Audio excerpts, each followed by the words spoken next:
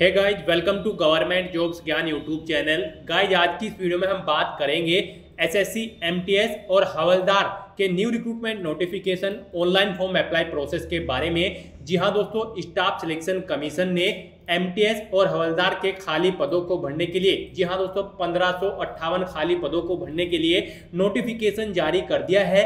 कैसे आप इन पोस्ट के लिए बिना कोई मिस्टेक किए हुए अप्लाई कर सकते हो?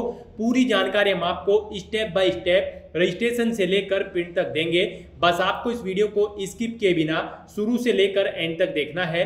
उसके बाद वीडियो पसंद आए तो इसे लाइक और शेयर कर दें। चैनल पर नए हो तो इसे सब्सक्राइब कर लें। तो गाइस बिना कोई वक्त गंवाए, चलिए शुरू करते हैं। आपको इस वीडियो के डिस्क्रिप्शन बॉक्स में हमारी वेबसाइट आई सरकारी नौकरी डॉट इन के इस पेज का लिंक मिल जाएगा। यहाँ पर आपको इस भर्ती के रिगार्डिंग पूरी डिटेल प्रोवाइड करा दी गई है। कर्मचारी चयन आयोग एसएससी ने मल्टी टास्किंग स्टाफ एमटीएस और हवलदार के एक हज़ार पाँच सौ अट्ठावन खाली पदों को भरने के लिए नोटिफिकेशन जारी कर दिया है।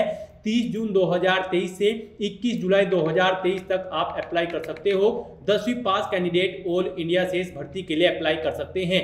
आपको इस पेज को नीचे स्क्रॉल डाउन करना है। इंपोर्टेंट लिंक सेक्शन में आकर ऑफिशियल नोटिफिकेशन पीडीएफ लिंक पर क्लिक करके इस भर्ती के नोटिफिकेशन को ओपन कर लेना है और इसमें से आपको पूरी डिटेल रीड करनी है। उसके बाद आपको अप्लाई करना है। अप्लाई के लिए भी यहीं पर आपको अप्लाई ऑनलाइन का लिंक दिया गया है। जैसे ही आप अप्लाई ऑनलाइन के इस लिंक पर क्लिक करोगे तो आपके सामने यहाँ पर एसएससी का ये ऑफिशियल पोर्टल खुल जाएगा। यहाँ पर अगर आपने पहले से रजिस्ट्रेशन कर रखा है तो आपको अपना रजिस्ट्रेशन नंबर पासवर्ड और ये कैप्चा इमेज यहाँ पर एंटर करने के बाद लॉगिन कर लेना है और फिर अपना फॉर्म फिल करना है। और अगर आप एसएससी की किसी भी भर्ती के लिए फ़र्स्ट टाइम अप्लाई करने जा रहे हो तो यहाँ पर आपको सबसे पहले न्यू यूज़र रजिस्टर नाउ इस लिंक पर क्लिक करके अपना रजिस्ट्रेशन कंप्लीट कर लेना है। यहाँ पर आपको अपनी बेसिक डिटेल्स एंटर करनी है और अपना रजिस्ट्रेशन कर लेना है। सबसे पहले यहाँ पर आपको बताना है कि क्या आपके पास आधार कार्ड है यस या नो आप यहाँ से सिलेक्ट कर सकते हो। नो अगर आप सिलेक्ट करते हो तो यहाँ से आपको दूसरी आईडी सिलेक्ट करनी होगी, PAN card passport voter ID card. और अगर आपके पास आधार कार्ड है तो आपको यहाँ से ये सिलेक्ट कर लेना है। और यहाँ पर सबसे पहले अपना आधार नंबर एंटर करना है। नेक्स्ट आपको यहाँ पर एक बार फिर से अपना आधार नंबर डालना है। अगर आप यहाँ पर आधार कार्ड सिलेक्ट करते हो तो यहाँ पर आपके सामने आईडी का ये कॉलम डिसेबल कर दिया जाएगा। उसके बाद यहाँ पर आपको अपना नाम एंटर करना है। नेक्स्ट यहाँ पर आपको नाम अपना एक बार फिर से एंटर करना है। उसके बाद यहाँ पर आपको बताना है कि क्या आपने कभी अपना नाम चेंज किया है या फिर नहीं। यस अगर आप करते हो तो वो नाम यहाँ पर आपको एंटर कर देना है और अदरवाइज़ आपको यहाँ पर नो सेलेक्ट करना है। उसके बाद यहाँ पर आपको अपने फादर का नाम एंटर करना है। नेक्स्ट यहाँ पर आपको अपने फादर का नाम एक बार फिर से एंटर करना है। यहाँ पर आपको सभी डिटेल्स दो बार एंटर करनी है वेरीफाई करने के लिए। नेक्स्ट यहाँ पर आपको अपनी मदर का नाम एंटर करना है।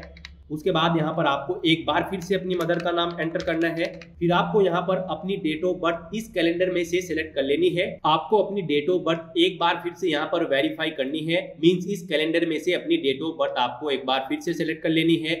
और यहाँ पर आपको अपनी मेट्रिकुलेशन यानी कि टेंथ क्लास के एग्जामिनेशन की डिटेल प्रोवाइड करानी है। सबसे पहले यहाँ पर आपको अपना एजुकेशन बोर्ड सेलेक्ट करना है। एजुकेशन बोर्ड यहाँ पर आपको एक बार फिर से वेरीफाई करना है, यानी कि दोबारा से आपको अपने एजुकेशन बोर्ड का नाम यहाँ पर एंटर करना है सिलेक्ट कर लेना है। उसके बाद यहाँ पर आपको अपनी टेंथ क्लास का रोल नंबर एंटर करना है। नेक्स्ट आपको यहाँ पर अपना रोल नंबर एक बार फिर से एंटर करके वेरीफाई कर लेना है। सेम नंबर आपका यहाँ पर होना चाहिए, जो आपने ऊपर एंटर किया है। उसके बाद यहाँ पर आपको पासिंग ईयर बताना है अपनी टेंथ क्लास का, कि कौन से साल में आपने अपनी टेंथ क्लास पास की थी। नेक्स्ट यहाँ पर आपको वो पासिंग ईयर एक बार फिर से सिलेक्ट कर लेना है।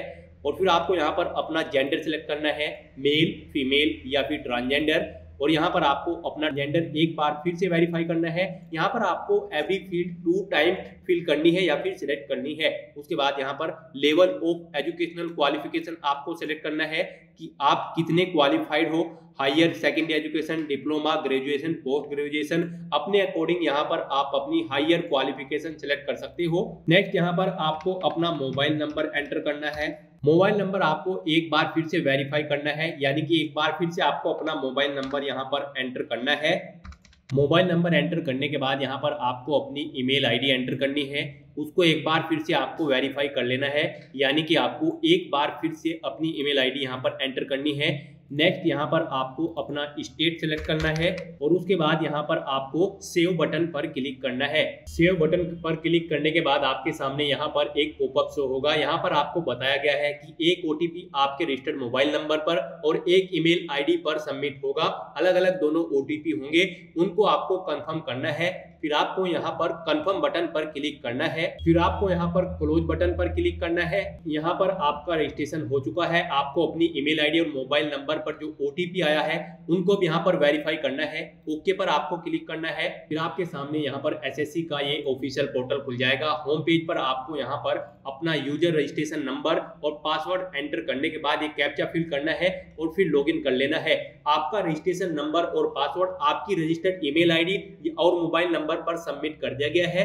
वहाँ से आपको अपना यूज़र नेम रजिस्ट्रेशन नंबर और पासवर्ड एंटर करना है और लॉगिन कर लेना है। लॉगिन करने के बाद आपके सामने यहाँ पर कुछ इस तरह से इंटरफेस खुलेगा।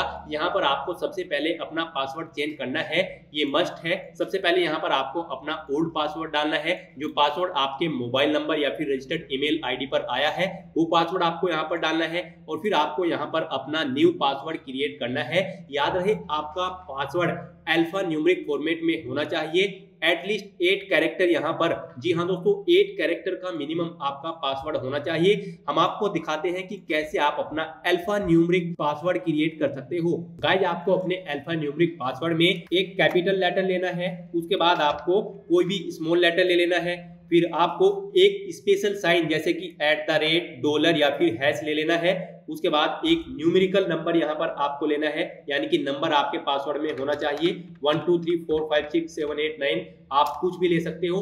हम आपको जस्ट ये एक सैंपल के तौर पर दिखा रहे हैं। आपका पासवर्ड इस फॉर्मेट में होना चाहिए। तो अल्फ़ा न्यूमरिक फॉर्मेट में अपना पासवर्ड यहाँ पर सेट करने के बाद आपको सबमिट बटन पर क्लिक करना है। पासवर्ड आपको यहाँ पर दो बार एंटर करना होगा। न्यू पासवर्ड फ़ील्ड में और यहाँ पर कंफर्म पासवर्ड फ़ील्ड में सबमिट करने के बाद आपके सामने यहाँ पर कुछ इस तरह से मैसेज शो हो जाएगा कि आपका पासवर्ड सक्सेसफुली चेंज हो चुका है।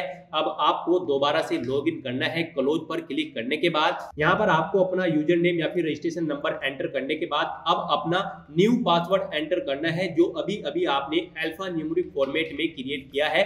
उसके बाद यहाँ पर ये कैप्चा एंटर करना है और फिर लॉगिन कर लेना है। लॉगिन करने के बाद यहाँ पर आपके सामने कुछ इस तरह से इंटरफेस खुलेगा यहाँ पर आपको सभी फील्ड्स फिलअप मिलेंगी, क्योंकि रजिस्ट्रेशन टाइम पे आपने अपनी सभी डिटेल्स एंटर की थी। बस यहाँ पर आपको अब नेक्स्ट बटन पर क्लिक करना है। उसके बाद यहाँ पर आपके सामने कुछ इस तरह से इंटरफेस खुलेगा। यहाँ पर आपको अपनी एडिशनल और कॉन्टैक्ट डिटेल्स प्रोवाइड करानी है। सबसे पहले यहाँ पर आपको अपनी कैटेगरी सिलेक्ट करनी है। जनरल ईडब्ल्यू एस या फिर एसटी उसके बाद यहाँ पर आपको अपनी कैटेगरी एक बार फिर से वेरीफाई करनी है। आपको यहाँ पर मोस्टली सभी फ़ील्ड दो बार एंटर करनी है या फिर सिलेक्ट करनी है। उसके बाद यहाँ पर आपको अपनी नेशनलिटी सिलेक्ट कर लेनी है। नेशनलिटी सिलेक्ट करने के बाद आपको आइडेंटिफिकेशन मार्क्स यहाँ पर एंटर करना है। अगर आपकी बॉडी पर कहीं कोई कट या फिर तिल का निशान है, आप उस पैलेस का नेम यहाँ पर एंटर कर सकते हो। फिर आपसे पूछा गया है कि क्या आप पर्सन विद बेंच डिसेबिलिटीज यानी कि पीडब्ल्यू से बिलोंग करते हो? यस या नो आपको यहाँ पर सिलेक्ट कर लेना है।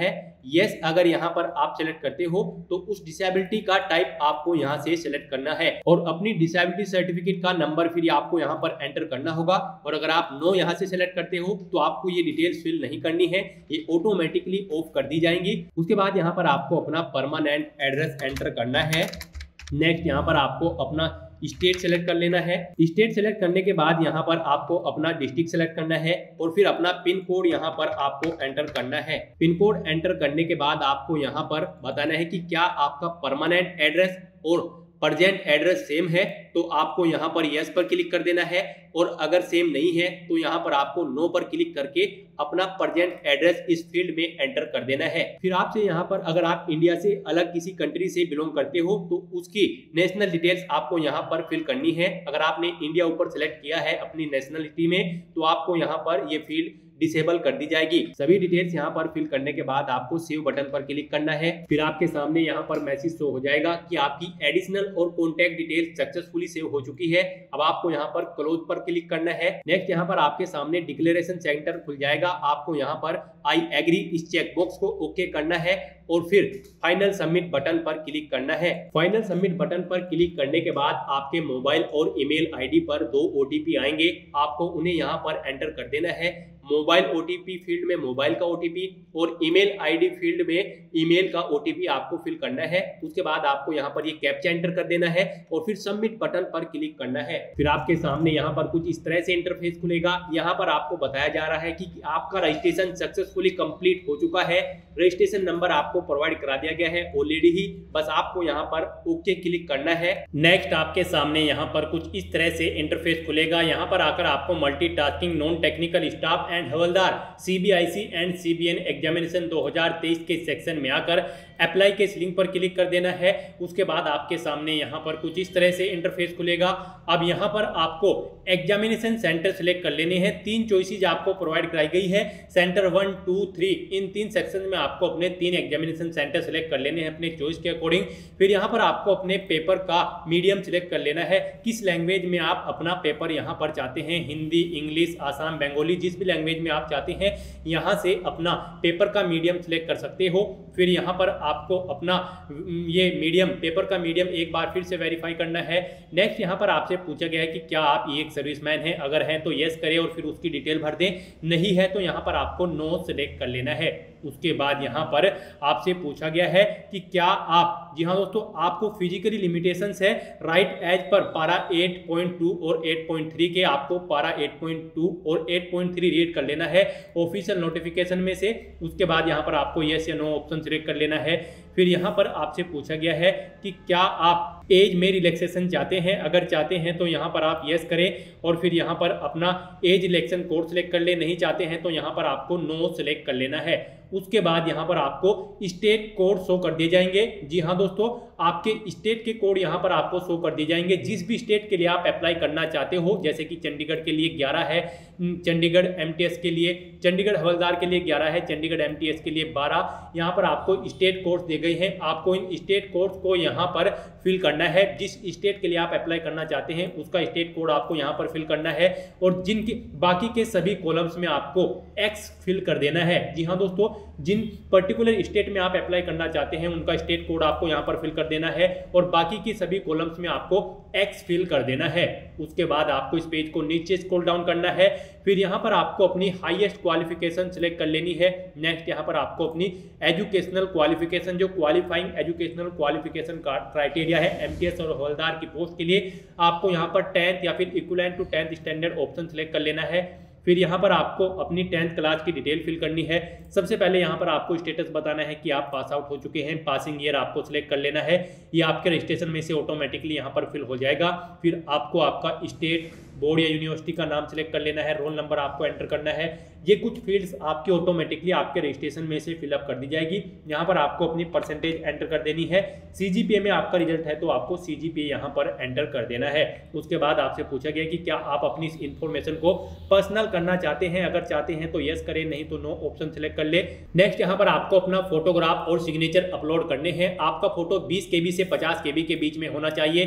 जेपीजी या फिर जेपीजी फॉर्मेट में। साइज़ उसका 3.5 सेंटीमीटर विथ और 4 सेंटीमीटर हाइट होनी चाहिए। ऐसे ही यहाँ पर आपको अपने सिग्नेचर अपलोड करने हैं। आपके सिग्नेचर 10 के से 20 के के बीच में जेपीजी जेपीजी फॉर्मेट में होने चाहिए। इसका साइज़ 4 सेंटीमीटर विथ और 2.0 सेंटीमीटर हाइट होनी चाहिए। आपको चूज़ फ़ाइल बटन पर क्लिक करना है। फ़ाइल को यहाँ पर सेलेक्ट कर लेना है और उसे अपलोड कर देना है। इस तरह से यहाँ पर आपको वन बाय वन करके अपना फ़ोटो और सिग्नेचर यहाँ पर अपलोड कर देने हैं। यहाँ पर आपसे पूछा गया है कि आपका फ़ोटो 21 अप्रैल 2023 के बाद का खींचा होना चाहिए। यहाँ पर आपको यस ऑप्शन सेलेक्ट कर लेना है। फिर आपको डिक्लेरेशन सेक्शन में आकर इन सभी डिटेल्स को रीड करना है। आई एग्री चेकबॉक्स को ओके करना है। ये कैप्चा कोड यहाँ पर फिल करना है और फिर प्रीव्यू बटन पर क्लिक कर देना है। उसके बाद आपको आपके एप्लीकेशन फॉर्म का पूरा प्रीव्यू शो कर दिया जाएगा।